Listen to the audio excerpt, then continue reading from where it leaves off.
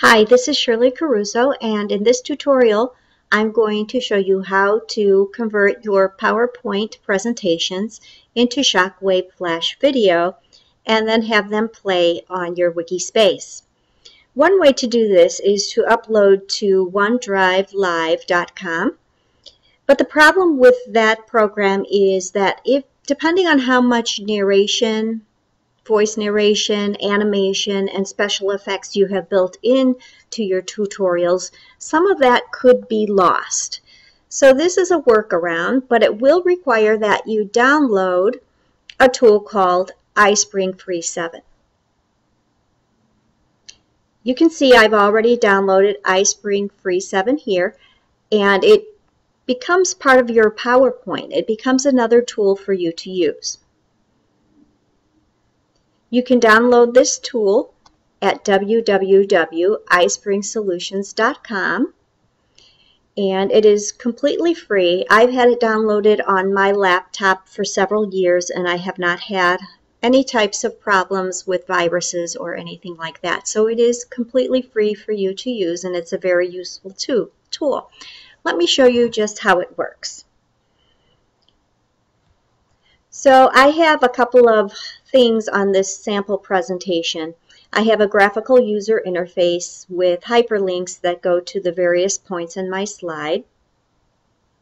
I also have a animation that's built in. When I click the can of soup, it goes into the bag. When I click on the loaf of bread, it goes into the bag. And there's also some voice narration associated with this slide. On this slide, I have some voice narration and then I have an animation where the telephone rings. So what I need to do now is I need to click on iSpring 7. I'm going to say Publish. And I'm going to leave the settings as they are. I'm going to say that I want to publish all the slides and I want the output to be a desktop flash. And I'm going to designate here where I want that file. And just for ease of location, I'm going to choose the desktop.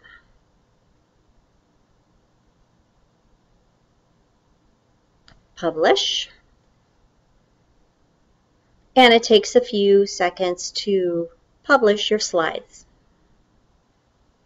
I can see that it has downloaded onto my desktop in a folder called PowerPoint Presentation. So now what I want to do is I want to go back to my Wikispace.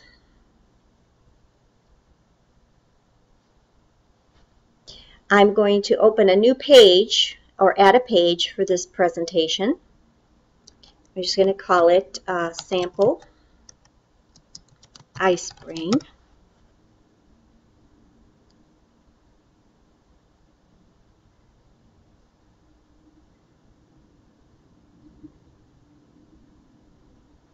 And now I'm going to upload those files.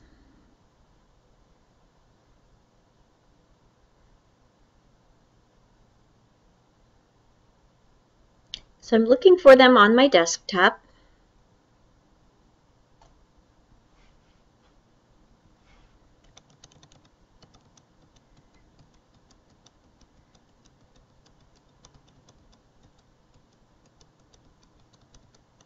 Here it is, PowerPoint presentation. And I am going to select all of those so that they will all copy.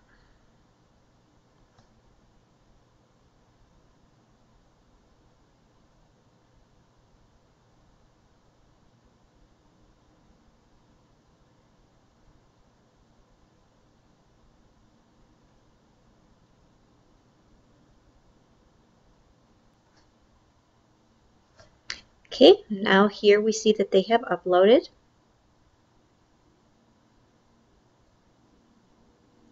And now what I would like to do is to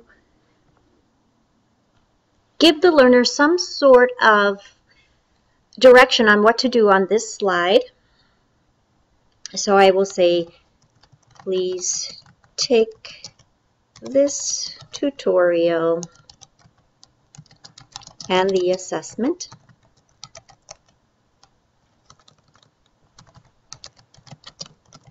when you are finished, please, and whatever you would like them to do next. And you might want to make this a little bit bigger, bold text, or however you want to give them some directions. And the next thing I want to do is insert the Shockwave Flash file. So I go to File, and you can see here uh, is this one with the extension .swf for Shockwave Flash. So I'm going to insert it right there. And I may need to uh, resize this frame just a bit.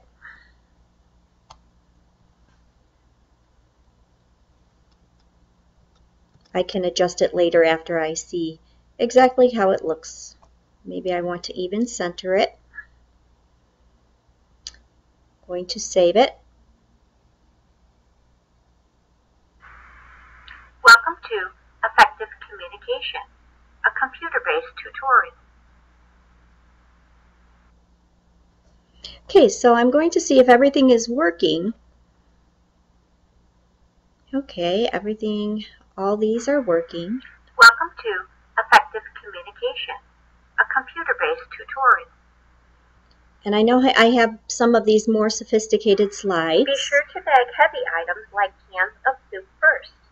Lighter or more fragile items like loaves of bread go last. Click on the can of soup in this picture so it will go in the bag first.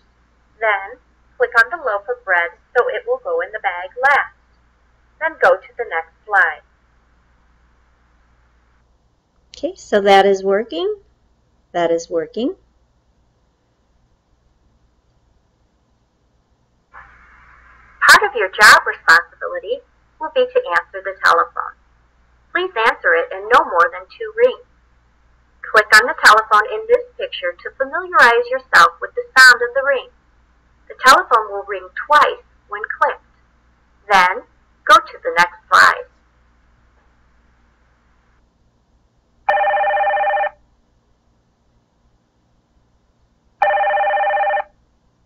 Okay, everything seems to be in order here. So if you are willing to download this iSpring tool that loads right into your PowerPoint presentations, you will be able to preserve all of the animation and all of the sound that you have put, worked so hard to put into your tutorials. I hope this has been helpful. See you next time.